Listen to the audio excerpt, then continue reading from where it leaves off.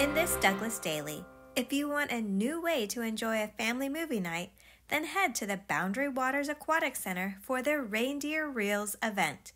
Individuals or families can watch the movie Klaus from the indoor pool at the Aquatic Center. That's what life is all about. Life is about making memories. And, uh, you know, this is just another opportunity to bring your family, do something different, and uh, build those memories up for your kids. The movie event will be on Friday, December 2nd, starting at 5:30 p.m. Make sure to bring your own float to relax. For more information about costs, call 770-489-2175.